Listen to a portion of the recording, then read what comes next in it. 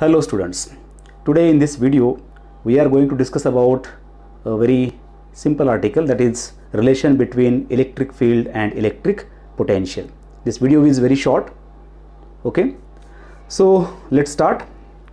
Let us say for example we are having a charge plus q here and from that charge plus q we are going at two different locations as shown here okay along this line let us say the points are b and a.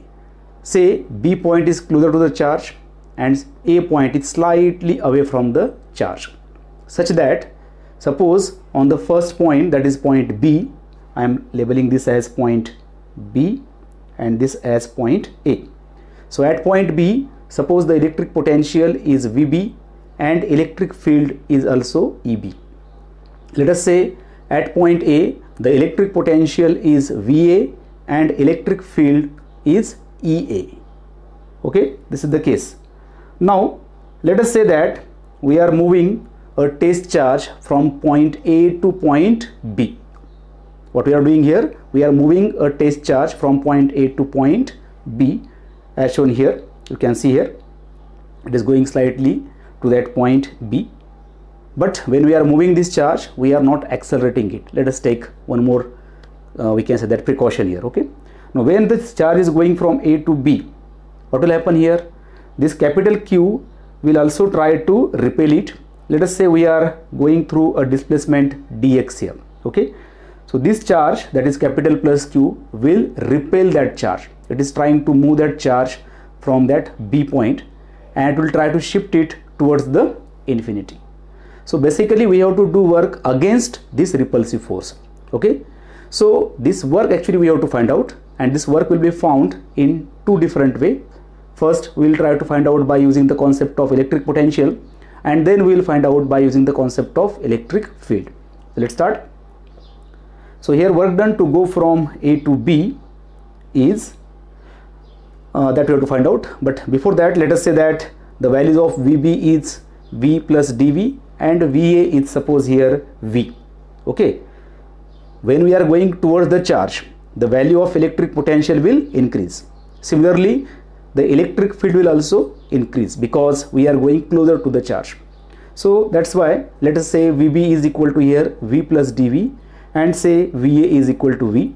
Similarly let us say that the EB, uh, electric field at point b eb is equal to suppose here e plus uh, de and electric field at point a is suppose here e now by using this information we can find out the work done. So let us say the small work done required to go from b to a. Okay? It is suppose here q into vb minus va. We are using this by using the concept of electric potential here right? So what amount of potential difference is available that we can put there? So that's why the value of work done becomes q into dv because difference is now dv. Okay? How it is coming vb is v plus dv and va is simply v. So difference if you take it will be equal to simply dv. Let us say it is equation number one. Similarly by using the concept of electric field we can write here dw equal to q de dot dx. Let us say we are moving by displacement dx as shown in the figure. Okay? As it is a dot product we can resolve it. So we can write here that dw equal to here q de dx cos of 180 why it is 180 because the displacement is towards the charge okay and the electric field is away from the charge. Electric field is coming from the charge. That's why these two they are opposite to each other. That's why the angle is here 180 degree. So that's why this small work done becomes now here minus times q de dx this is also work done. And previously in equation 1 also we have got the work done. So by using this equation 1 and 2 we can find out the relation between e and v. What is that? See here. First of all let me write the equations here once again. So by combining these two equations that is from 1 and 2 we can write here q dv is equal to minus q de dx. Right and on simplifying cancelling that q from both sides we can simply write here dE is equal to minus dV upon dx. Okay. So this is basically the relation between your dE and dV or electric field and V. What you are observing here, what is the main fact which has to be observed here? The main fact is that as shown in that equation you can see, okay, what we are doing here basically, we are simply relating electric field and electric potential with a negative sign.